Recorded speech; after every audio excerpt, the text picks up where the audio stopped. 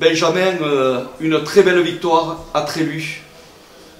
Oui, on savait que ça allait être compliqué face à un Bayonnais qui se présentait en tant que deuxième et qui, je pense, a d'autres ambitions.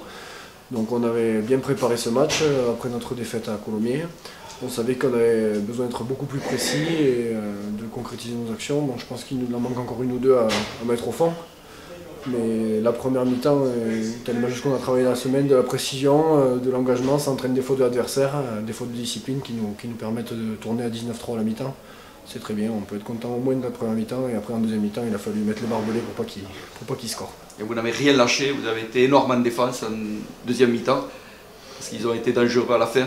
on a été très solidaires parce qu'à la fin, les 5-10 dernières minutes où c'est vraiment très compliqué, il y a moment où Yo qui prend son carton, euh, là il faut, il faut tenir. Bon, on, a, on concède un essai sur cette période, mais euh, quand, euh, quand le dernier plaquage est à mettre et qu'on les envoie en touche, c'est parfait, 80e pas de bonus pour, pour eux, très bien. Que du bonheur. Que du bonheur ce soir.